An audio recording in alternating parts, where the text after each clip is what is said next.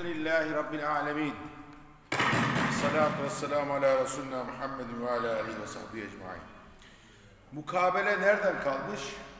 Mukabele geleneği ya o bildik bileli böyle var yani değil mi? Nereden kalmış? Sünnet mi, farz mı? Nedir bu ya? Bilen var mı? Görüşünüz? Sünnet. Sünnet. Peygamber Efendimiz'den mi kalmış? Evet. Cebrail Aleyhisselam'a Peygamber Efendimiz'in karşılıklı okumasından. Aynen. Aynen. Doğru Evet. söylüyor. Doğru söylüyor. Demek ki Kur'an'ın mukabele edilmesi, mukabele takip etmek, dinlemek, karşı tarafı dinlemek, mukabele. Cebrail aleyhisselamla Peygamber Efendimiz aleyhisselatü vesselam Ramazan, her Ramazan geldiğinde inen Kur'an ayetlerini nazil olan Allah tarafından gönderilen Kur'an ayetlerini tekrar eder, dilleşirlerdi. İşte bu gelenek, mukabele geleneği buradan kalıyor. Sen de ey kardeşim, burada mukabele dinlerken, okurken, takip ederken Cebrail'den dinler gibi dinle. Peygamber Efendimiz Aleyhisselatü Vesselam Efendimizin takip ettiği gibi, dinlediği gibi, okuduğu gibi. Bakalım yanlışım var mı? Yani Kur'an daha iyi öğrenmek, daha güzel öğrenmek için benim karşımda Cebrail var, Cebrail'den dinliyorum.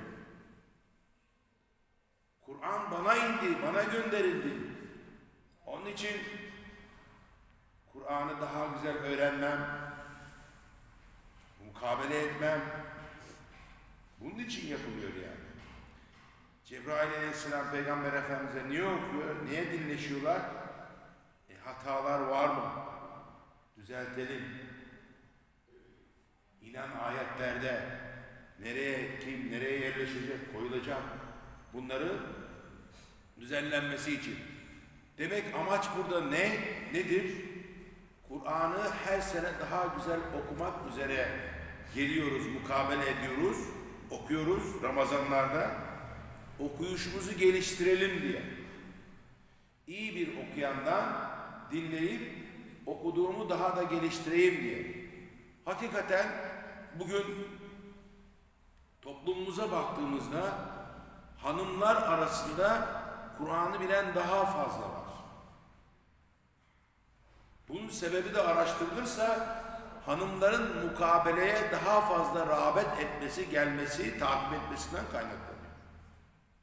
Evet kız erkek çocukluğumuzda camilere gidiyoruz, Kur'an'ı öğreniyoruz ama erkek çocukları veya erkeklerimiz kapatıyor o zaman, o, o öğrendi öğreniyor, kapatıyor, kadar bir daha bakmıyor gibi. İştir, okuldur efendim, mukabeleye işte yılda bir, bir de katılmaması nedeniyle unutuyor. Ama hanımlarda bu daha fazla. Çünkü mukabelelere devam ediyorlar. Mukabelelere devam etme oranı kadınlarda, hanımlarımızda daha fazla. Onun için hanımlar arasında daha fazla Kur'an okunuyor ve biliniyor. Öyle değil mi? Öyleyse bunun faydası var. Bunu unutmayalım. Bu geleneği devam ettirelim. iştirak edelim. Ama ve lakin arkadan yetişen nesle baktığımızda bakın hanımlar arkadan yetişen nesle baktığımızda şimdi eksikliğimizi söylüyorum.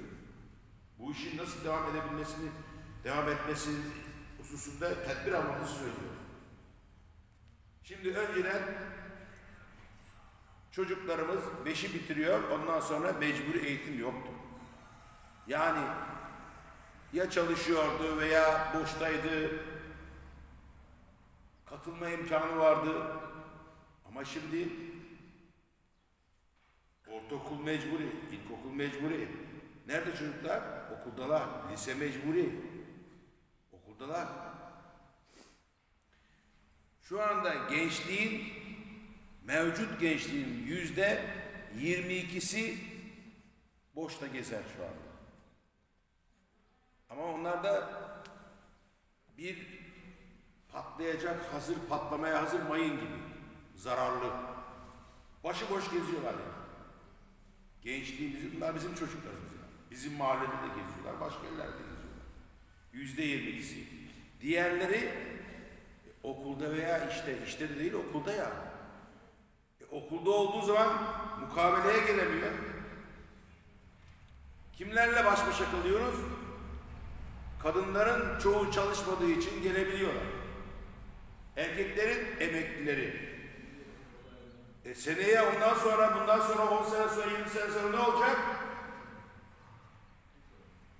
Onun için diyorum ki, tatillerde bari, cumartesi, pazar, okulun olmadığı günlerde bari, şöyle girsinler çıksınlar içeri. E böyle bir şey de varmış, görsünler ya, unutuluyor bak. Bak farkında değilsek, değiliz belki unutuluyor. Onun için bu geleneği, bu güzelliği devam ettirmek hepimizin görevidir. Çocuklarımıza gösterelim. Kız çocuklarımız yukarı gelsin cumartesi pazar okula gitmedikleri zaman veya boş zamanlarında sabahçı olanlar var, öğlenci olanlar var, müsait olduk zaman bu geleneği, bu güzelliği, bu mukabele geleneğini devam ettirebilmemiz için mutlaka çocuklarımızın bunu görmesi lazım. Her şeyde olduğu gibi. Rabbim hayırlı nesiller, hayırlı evlatlar nasip eylesin. Kur'an okuyan, ağzı dualı, alnı secdeli, kalbi gönlü imanlı. Nesiller evlat nasip eylesin. Ama neredeler? Yoklar. Onun için siz gittiniz, sizin evde Kur'an da bitti. Siz gittiniz, böyle mi olsun istiyoruz? Sizin evde namaz da bitti. Siz gittiniz, öldünüz, bitti. Camiye gelmek mukabele de bitti. Öyle olmaz. Eğer kabirde rahat etmek istiyorsak mutlaka hep nesil üzerine, hep çocuklar üzerine görüşüyoruz ve konuşuyoruz ama görevimiz bu. Hepimizin görevi bu. Onun için mukabele geleneğini ha- ha- hatırlatmaya çalıştım. Bunun devam etmesi için yapacağımız önlemleri, tedbirler anlatmaya çalıştım. Rabbim kabul eylesin. Hepinizden razı olsun inşallah. El Fatiha. Hocam